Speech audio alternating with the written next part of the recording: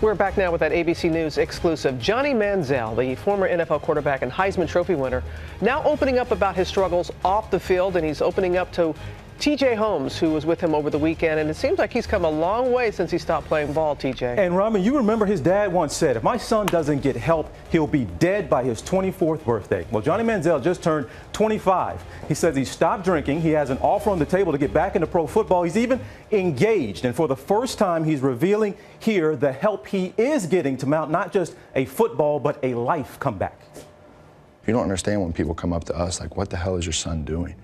And I didn't really feel that until um, until my mom my mom said that. She just broke down. She was crying, and I saw the trickle down effects of what I was doing in my daily life that were meaningless and pointless um, and, and selfish. Johnny Manziel's life, from field to club to courtroom, has been on full display since November 10th, 2012. Manziel takes off again.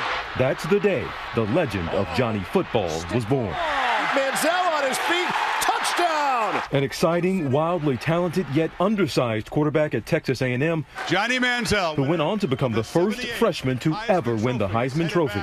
Oh, look at this. Look yeah, we got here. a, a bunch of cool stuff from from obviously the 2012 season. He was a first-round draft pick of the Cleveland Browns, but his off-the-field issues eventually led the team to cut him in 2016, and Johnny Football hasn't played football since. Watching other guys that are doing what I want to be doing, and I'm sitting on the couch being a loser.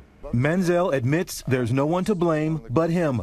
Run ins with the law, a domestic assault charge that was dismissed in November after he agreed to attend an anger management course, and his well documented partying and drinking, like this moment captured by TMZ cameras. I had a sense of entitlement about what I had accomplished at the age that I had accomplished it, and I got so ingrained only caring about what Johnny wanted. Even when I thought I was doing what I wanted, I was miserable. Manziel eventually entered rehab in 2015. He says he's had time to reflect, mature, and clean up. He got engaged to his girlfriend, Bree Tiesi. He's been working out, trying to convince a pro team to take a chance on him, and he's launched his own line of apparel. Is the goal of this comeback to get back into the NFL ultimately? That's the end goal, 100%. You have to tell me, are you still drinking? No. Not uh, drinking at all? I, am not. Because uh, here's the way I look at it. Going back throughout the last couple years of my life, I was self-medicating with alcohol. Like that's what I thought was making me happy and helped me get out of that depression to a point of where I felt like I had some sense of happiness. But at the end of the day, you're left staring at the ceiling by yourself and you're back in that, that depression and back in that hole, that dark hole of sitting in a room by yourself, being super depressed, thinking about all the mistakes you've made in your life. What did that get me? Where did that get me except out of the NFL? Where did that get me disgraced?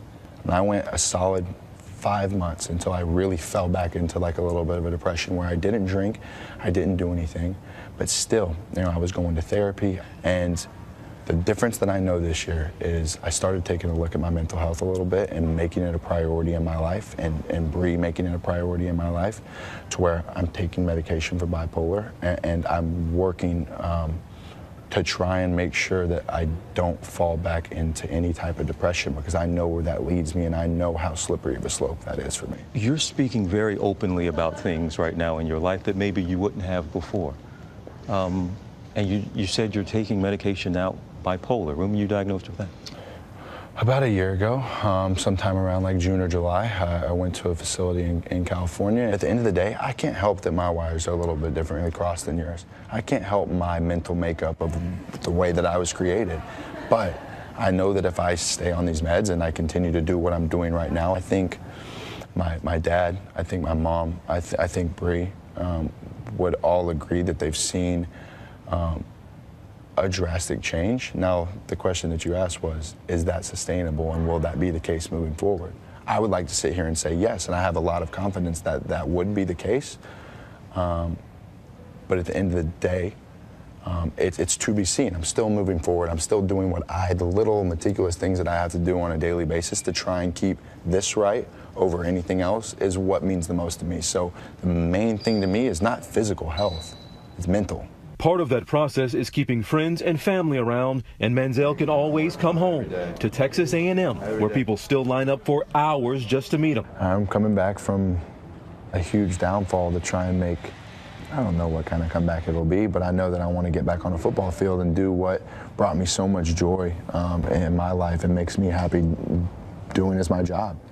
Now, the domestic assault charge that was dropped, he only addressed by saying he don't, don't want to talk about it now, maybe later, but he acknowledged it was a tough situation for everybody, and he does have a CFL contract waiting on him. We're waiting to see what he might do, but he could be back in football, pro football in Canada at least, in the next few months. So much so soon, hard to handle for a young man. Win the Heisman as a freshman. He was 19 when he got became one of the most famous people in this pretty country. reflective. He does. Seems on the right road now. 25, it, uh, the difference the years make. Yeah. Great interview. You got it. Great interview, TJ. Thank you so much for that.